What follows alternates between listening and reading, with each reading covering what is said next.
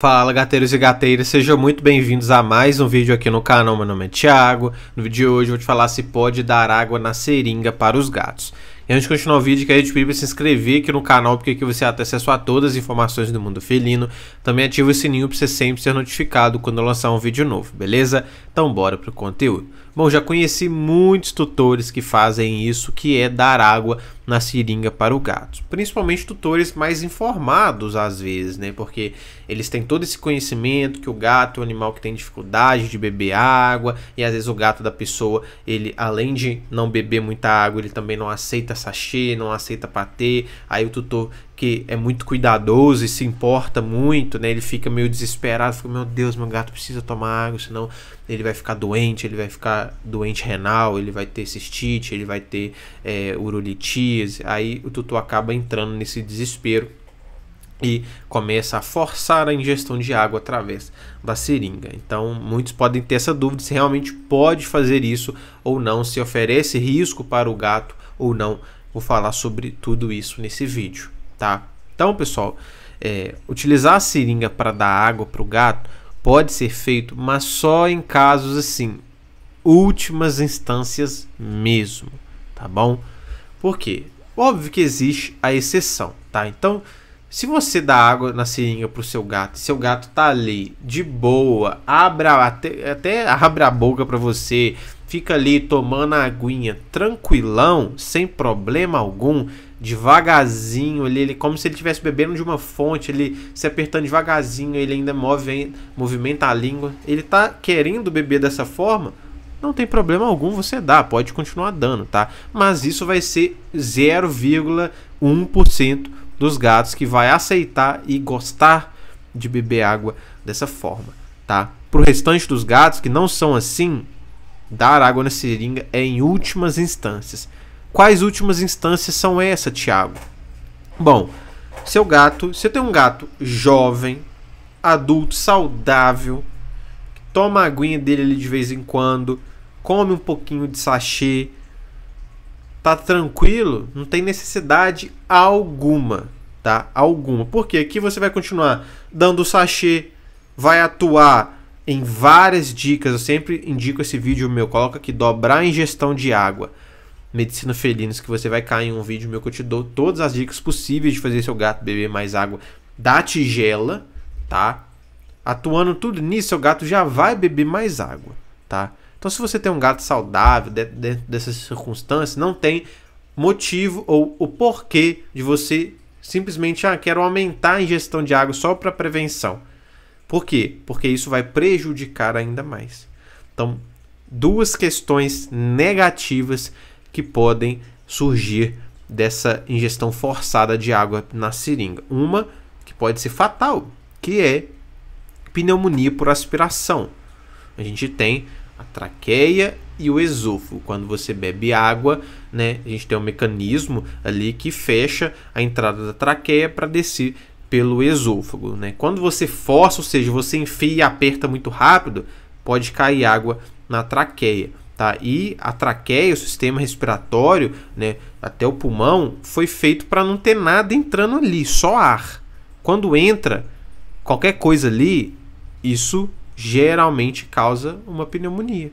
Tá? Então você pode causar uma pneumonia no seu gato e você já deve saber com certeza que pneumonia não é algo fácil de se tratar e na grande maioria das vezes é algo extremamente grave. Tá? Então esse é o primeiro problema. Segundo problema, você vai causar, obviamente, todo o estresse desse momento, vai causar associações negativas com você, porque toda hora está forçando o gato a algo que ele não quer, gerando um sentimento negativo nele, ele vai começar a olhar para você com um pouco mais de medo, vai prejudicar diretamente a sua relação com ele e vai causar o efeito reverso que você está querendo.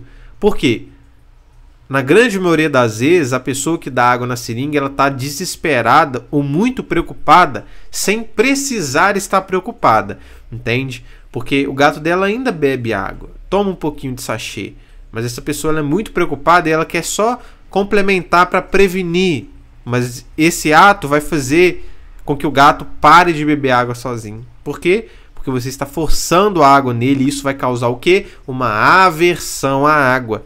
Então, além dos malefícios de dar na seringa, ele ainda vai parar de beber direto da tigela. Entende? Então compreende como que isso é extremamente negativo para o gato. Então, pessoal, seu gato bebe a aguinha da tigela ali, não espere que o seu gato toma água da tigela igual um cão. Saia lá lambendo, lambujando, bebendo um potão inteiro de uma vezada só, jogando água para todo lado. O gato não é assim.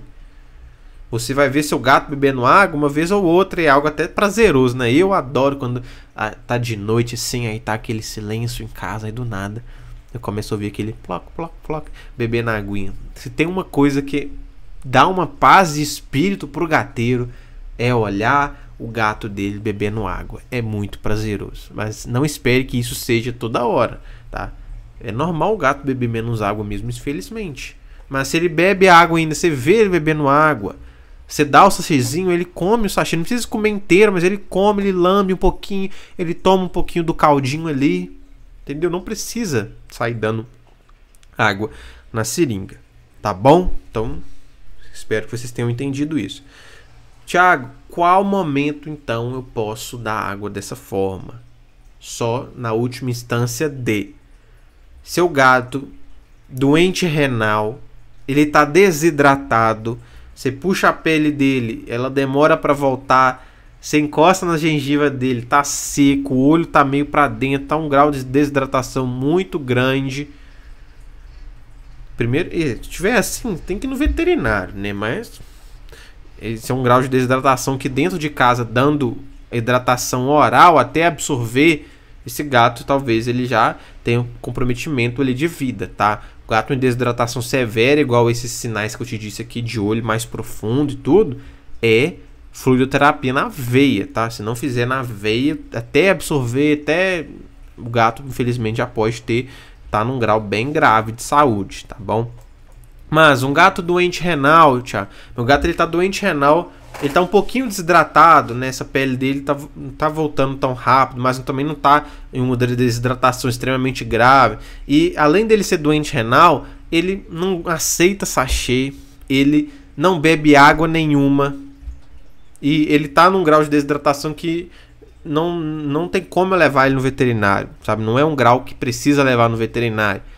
Eu não consigo, porque muitos gatos têm doença renal, o veterinário ensina o tutor a fazer fluid, é, fluidoterapia subcutânea em casa, né? Mas às vezes a pessoa não consegue, o gato não deixa. A única forma que eu tenho de dar água para o meu gato que precisa tomar água, porque ele tem uma condição que exige isso, é pela seringa, vai dar pela seringa, tá?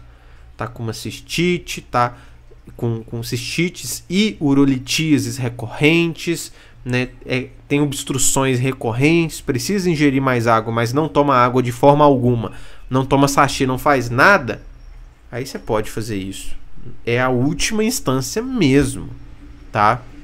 E caso seja necessário fazer isso, temos que tomar alguns cuidados, que, que são, né? Você não é para você pegar e enfiar e pum, apertar assim, joga um jato lá porque a chance de falsa via e pneumonia por aspiração vai ser muito grande. Então é para colocar que e isso se o gato for muito difícil de ser manejado, vai ser complicado mesmo, não tem o que fazer, tá, pessoal? Tem óbvio, você tem as estratégias ali, você pode pega uma cobertinha, enrola o burritinho dele, ele vai ficar só com a carinha assim apertadinha, não vai conseguir mexer muito, né? E você vai coloca aqui na boquinha do lado da boquinha dele, tá bom? Não é para você colocar de frente, para você colocar aqui no finalzinho do canto da boca. Você aperta assim, já vai abrir a boca. E você joga devagarzinho, basicamente enchendo o outro lado aqui da bochecha, tá? E depois ele vai engolir sozinho.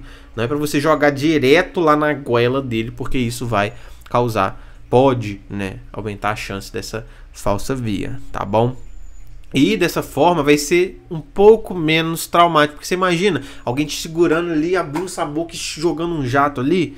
Isso causa muito mais associação negativa e aversão à água do que se ele tiver ali comprimidinho, um pouco mais tranquilo, você for devagarzinho, com paciência, for jogando devagarzinho ali. Isso é muito menos traumático do que essa outra forma que eu te disse, tá? Então é assim que você faz da forma correta e só nessas circunstâncias que eu te expliquei. Última instância. Seu gato bebe água, tá adulto, saudável, faz check-up, tá biomarcador renal, tá tudo ok, não tem problema urinário, tá tudo tudo maravilhoso, não precisa complementar a água dando seringa, água na seringa, porque isso vai gerar problema. O gato que às vezes já bebe água, tá tranquilo, vai lá e para de beber água porque está dando na seringa e causando aversão, tá? Então, sem necessidade. Então, esse foi o vídeo de hoje. Eu espero que vocês tenham gostado. Antes de terminar, quero te lembrar que eu tenho minha loja de produtos pet, onde você pode comprar qualquer tipo de produto para o seu gatinho. Eu deixo o link aqui embaixo na descrição e peço que você me dê uma preferência, porque assim está contribuindo muito no meu trabalho aqui no YouTube, beleza? Muito obrigado pela atenção de vocês. Até o próximo vídeo.